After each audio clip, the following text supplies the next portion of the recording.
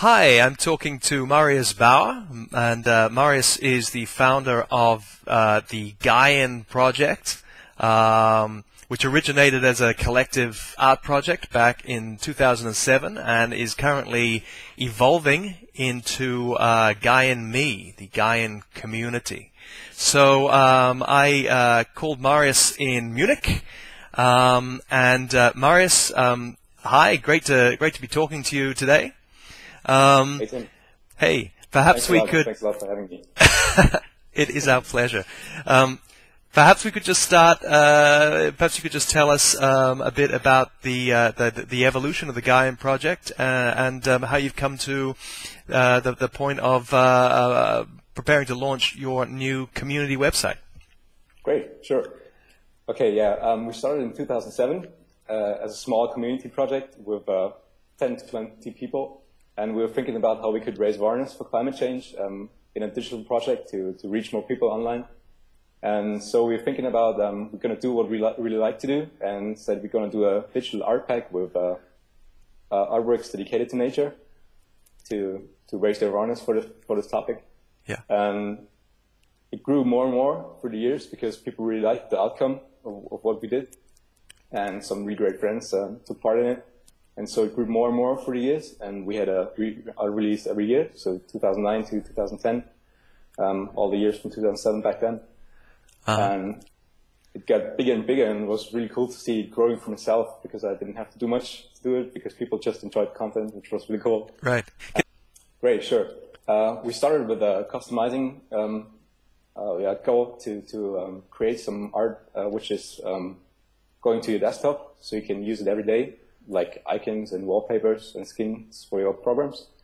So you can uh, really customize your environment because we, we take a lot of time to work with our PCs, most people, and browse the web. And so you have some kind of uh, good vibe around you all the time to, to, to be reminded of nature and maybe change your habit a bit in a positive way. Great.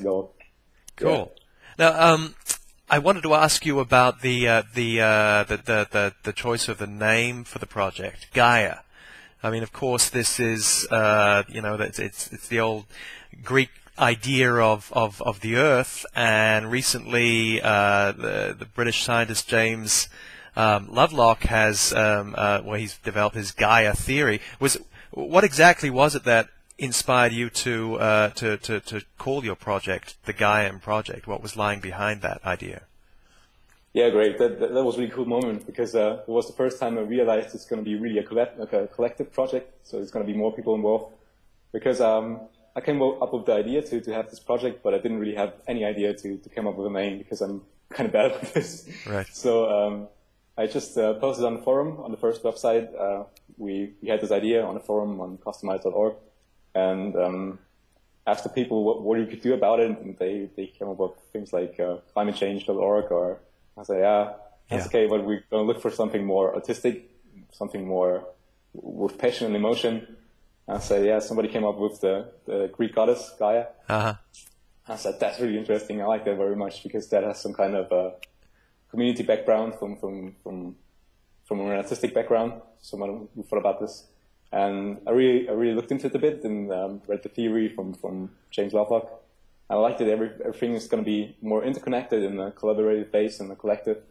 And that was really interesting and kind of very inspiring. I, I liked it because people could get a connection to it. It was a very short name, Gaia. Everybody knew about it. It's going to be a bit uh, about nature and going to be about climate change. Yeah. And I wanted to take it to, to a digital Yeah, it experience. works, it works really well. I really like it. Um, very famous. Now, uh, a lot of a lot of the um, the artwork uh, on uh, that's that's been contributed to the Gaia project um, has a very sort of organic feel to it. Um, I mean, a lot of the, a lot of the images seem to suggest, uh, you know, uh, sort of fractal flows and chaotic processes of evolution and, and transformation and so forth. Was that a, a, a conscious decision to? Did you encourage people to to develop ideas in that direction, or was this just something that that that that, that emerged? Okay, yeah. Um, there are two ways. Uh, I invited some friends uh, from whom I knew they will do some good artworks, like uh, Jared Nickerson or Arthur Mayer, and I knew they're gonna do some really high quality work. And I I gave them full freedom to say, yeah, you can create whatever you want to, but it just has to relate to nature in some kind of way. And so we, we were trying to keep it very, very open and I invited some, some friends of mine and some good artists from, from the other networks. But then uh, a lot of people said, yeah, I want to be part of this too. And that's, that was a really cool part because I got a lot of emails from people saying, I want to submit something to this. I, I'm not so good with art, but I want to do something. Yeah. And I said, that's really cool. So um, we had uh, some kind of one, one community of artists who were contributing to it as a small gift to the community and the community contributing to it as well and coming up with some really cool stuff. And so it was really open and um, we're just trying to keep it focused on nature and yeah. everybody could submit whatever he wants to. So I think that's the background. So people saw the, past releases and get inspired by nature. Yeah. So you come up with this. It's a beautiful thing.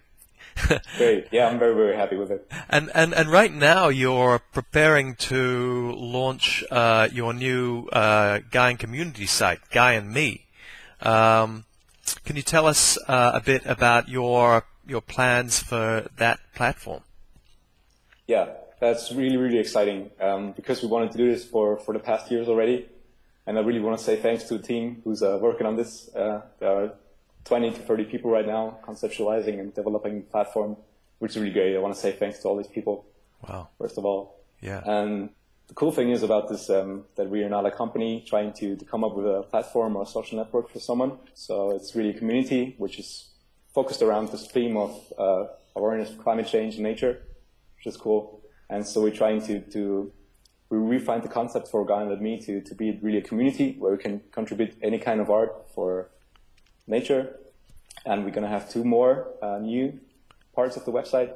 One is a challenging system, which is going to be really fun, more like a game system.